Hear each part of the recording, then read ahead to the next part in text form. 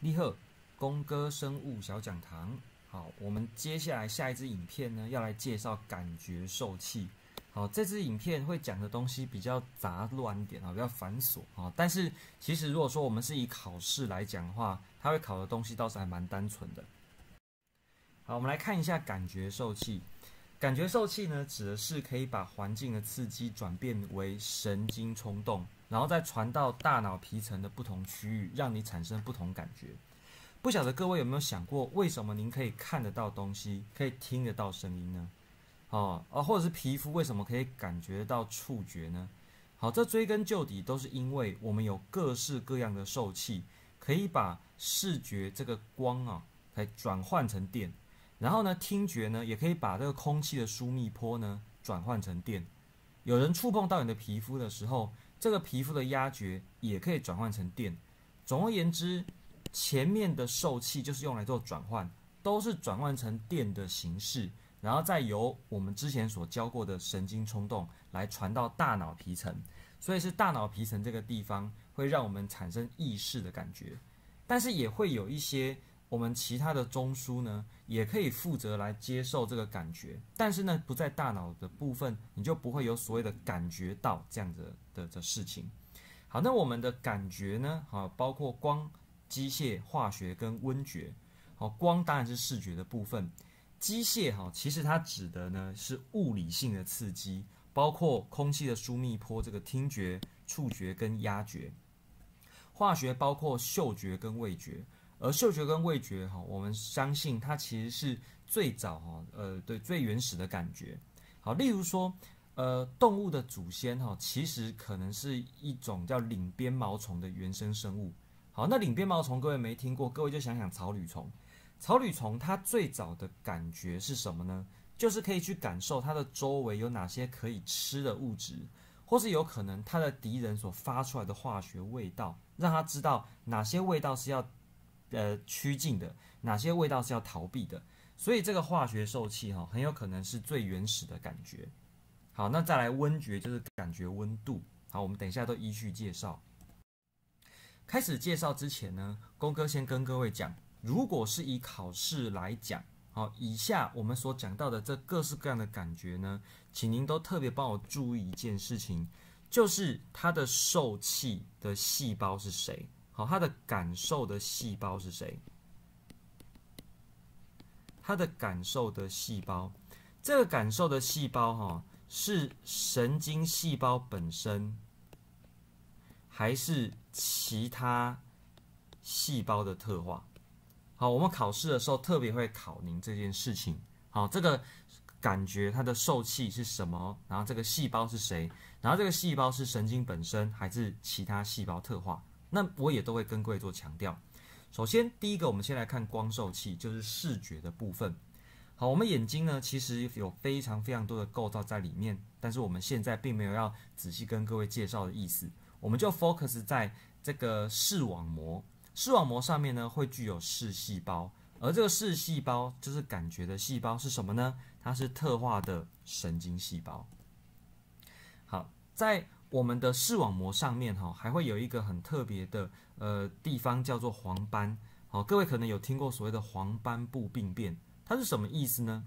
哦，您可以做一个小实验，请各位现在眼睛哈专心的看着我现在圈起来的视觉的“视”的这个字，专心看个三秒钟。那您在看这个“视”这个字的时候，您的眼睛的旁边、视野的旁边有看得到这个字是什么字吗？哦，哎，你可能已经不小心被我吸引过来，就看到原来旁边就是“光”这个字。但是您在专心看“视”这个字的时候，“光”这个字其实是模糊的。这就是因为您把“视”这个字放在黄斑来看，所以黄斑它指的是我们视网膜上这个可以看得最清晰的地方。好，那为什么黄斑可以看得最清晰？我们来介绍一下视细胞。好，放大来看。那来看，我们可以看到哈，视网膜上面呢，它主要是有呃两种视细胞，分别是视感细胞跟视锥细胞。好，那这个视视细胞它是神经细胞的特化，然后它有细胞核，还有杆状跟锥状的构造。其中视感细胞呢，它对于光的亮暗相当的敏感，但是没有办法分辨颜色。而视锥细胞我们有分成三种，分别就是 RBG 哦 RGB，可以感受红光、绿光跟蓝光。这红蓝绿就构成了我们的呃彩色视觉。而我们刚刚讲到的黄斑，黄斑呢，它这个地方会具有非常高密度的视锥细胞，所以我们可以把这个颜色啊，哦，可以把物体的轮廓啊看到最仔细。所以黄斑真的是我们身的视网膜上最重要的一个区域。好，那我们接着来看一下视觉是怎么产生的路径啊。好，这个光经过了眼睛前面的角膜，从瞳孔进入，然后在水晶体进行折射。会适当的呢，把它聚焦在视网膜上。视网膜这个特化的视细胞，哈，神经特化的视细胞呢，就会产生电位。怎么产生的呢？就是特定的波长可以使得这个视细胞它的膜上面哈会产生电位。好，这个电位的变化就可以透过视神经，经过视丘，然后传到大脑皮层的视觉区，让我们去产生视觉。好，讲到视丘。在上支影片呢，我们有提到中呃上上支影片有提到中枢神经系统的这个呃视丘是用来做感觉的转运站，而当时公哥有讲有一种感觉是例外，没有经过视丘，是谁呢？啊，如果您忘记了，我就先卖个关子，等一下我们再来说。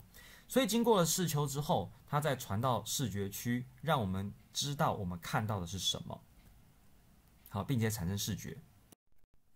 第二个受器，我们来介绍听觉的受器。好，那听觉当然就是在我们的耳朵的部分。耳朵有分成外耳、中耳跟内耳。好，外耳跟中耳呢，我们以鼓膜作为相接，呃，作作为分界。好，鼓膜后面呢是中耳的部分。好，中耳呢会具有三块小小的听骨。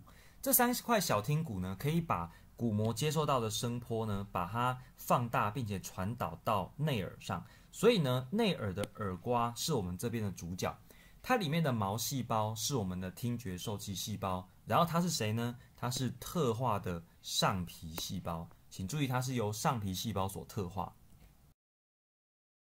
顾名思义，它有长毛。好，它有长毛，我们放大来看，好，它在这个地方，它有长毛。当哦特定频率的这个呃。疏密波呢，哦，经过到了这个毛细胞的时候，它会产生一个横的位移的震动，然后这个震动哦，就会使得特定地方的这个毛细胞的毛就会产生一个弯曲，而这一弯曲就会使得它会产生动作电位，动作电位再往后经由听神经就可以往后传递到我们的大脑，并且让我们的脑去产生听觉。所以呢，我们就来看一下听觉是怎么产生的。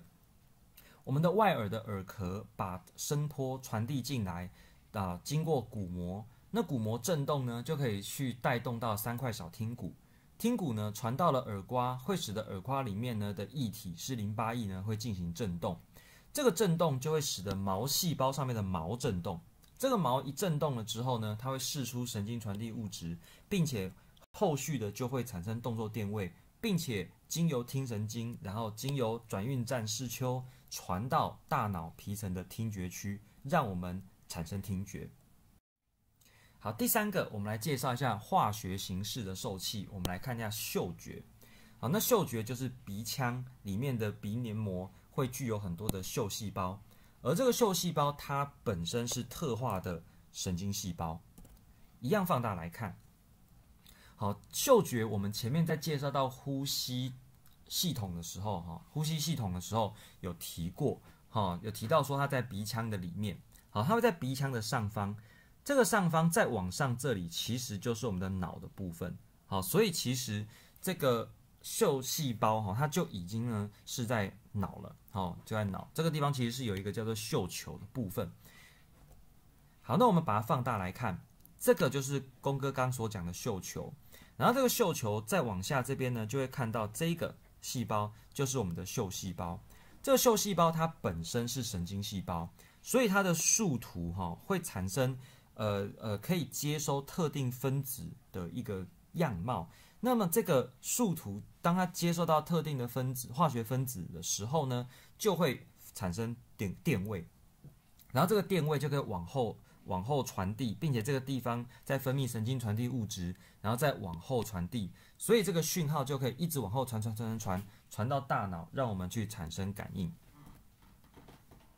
好，然后这个嗅细胞哈，其实是还蛮容易随着年纪的增长而使得它的再生能力降低，所以年纪越大，我们的嗅觉就会越差。好，当然随着年纪越大，我们的视觉跟听觉也会功能随之下降了哈。好，那我们来看一下嗅觉形成的路径。当空气中的这个挥发性的物质传到鼻腔，然后呢被鼻黏膜上面的这个嗅细胞所感应到，那么呢溶解在鼻腔黏膜的这些水溶性的分子或脂溶性的分子呢，好碰到了嗅细胞的树突之后呢，嗅细胞就会产生动作电位。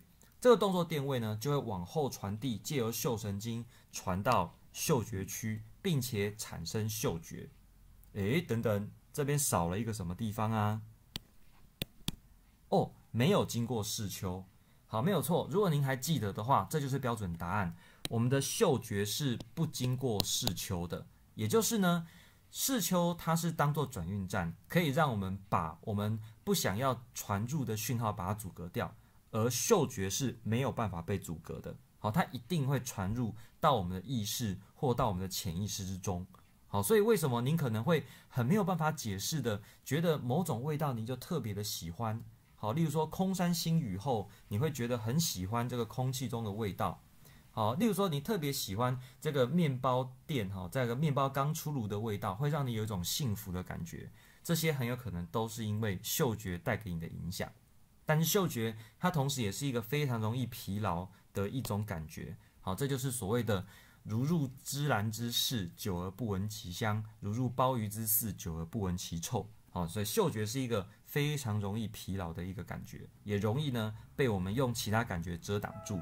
所以厕所里面呢，都可以放一些芳香剂去把臭味遮掉哈。好，下一个化学感受器，我们来介绍味觉。那味觉当然就讲到舌头啦，舌头上面会具有很多味蕾，味蕾里面的味细胞，它是特化的上皮细胞。好，舌头呢，各位如果用镜子看，会看到上面会有很多一颗一颗的东西，请注意那个一颗一颗的，并不是味蕾，味蕾是藏在一颗一颗的侧边。然后里面会有很多这个一格一格的味蕾才是，好，是藏在这个呃您可以看到的那个舌乳图的侧边，好，啊，这个才是味蕾。而味蕾的里面就有胃细胞，胃细胞呢可以做特定的分子讯号的感受。所以呢，舌头表面的味蕾，当它感受到了溶在您的唾液里面的化学分子之后呢，胃细胞就会被刺激。这个刺激之后，就借由感觉神经一样会传到视丘。然后再传到大脑的味觉区，让我们产生五种基本的味觉。哪五种呢？甜味、咸味、酸味、苦味跟鲜味。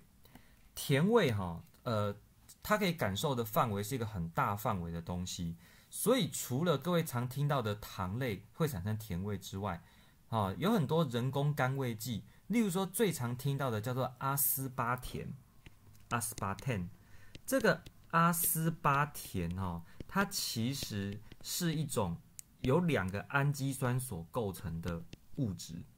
好，阿斯巴甜它是其实是两个氨基酸构成的物质，但是吃起来很甜。好，所以它就是什么东西会让我们的舌头产生甜味，是要看它具有某些特定的官能基。咸味就很简单了，就是感受到钠离子；酸味也很简单，就是感觉到氢离子。好，苦味呢又是非常复杂的部分，有很多东西都会让我们觉得苦，例如说黄连很苦，例如说很多药很苦，好，例如说呃苦瓜也很苦，好，那那些也都是有一些特定的官能基，可以使得我们专门感受苦觉的这些嗅细胞呢会产生电位。好，好，这第五种感觉哈是最晚被发现哈，是由日本人发现的，叫做鲜味。好，五妈咪，这个五妈咪念起来就是五麦，就是日文的哦，好吃，哦一细五麦，好好吃。那么他们发现哈，为什么在高汤里面会让我们产生鲜甜的感觉？主要呢是因为一种氨基酸叫做脯氨酸。脯氨酸呢，哦不大容易这个这个稳定，所以呢，呃，这个日本的科学家就把它做成盐类，变成脯氨酸钠。这个脯氨酸钠呢，如果说把它溶在水里、溶在汤里，就会让我们的呃味觉细胞会产生鲜美的感觉。好，这个就是我们所谓的味精，或者说有很多什么烹大师里面，其实就是以这个脯氨酸钠为主哦。好，那有人想到说，哎啊，还有辣啊，哦，辣觉它其实不算感觉，它其实是痛加上热的感觉。好，那我们接下来来介绍一下皮肤。皮肤哈，它其实可以感受非常非常多样貌的感觉。首先，我们介绍一下痛觉。痛觉是由感觉神经的末梢，好，这个特别的喜欢考您哈，感觉神经的末梢哈来感受。几乎我们全身的皮肤都会有分布。好，那什么样的刺激会造成我们产生痛的感觉呢？只要过度就会，例如说损伤、过热、过冷、化学物质刺激都会。然后痛觉是一种很不容易疲劳的感觉，所以一痛就会痛好久，真惨。触觉跟压觉都是属于物理性的刺激，然后在我们身体里面呢分布其实是不平均的。好，主要呢在手指啊，还有特定的某些地方分布会特别多。那么触觉会在比较表浅的地方，压觉会在比较深的地方。好，那皮肤还有温度感觉，所谓的温度感觉，它也都是靠神经元末梢来做感觉。然后温觉有分成热觉跟冷冷觉两种，冷觉的数量比热觉还要更多，它主要对下降比较敏感。而有趣的是，呃，今年是这个呃二零二一年，今年的生理医学诺贝尔奖哦，就是在讲这个冷觉跟热觉的受气，它除了对温度有感觉之外，都还会对特定的物质会产生感觉。例如说，冷觉会对薄荷醇会产生反应。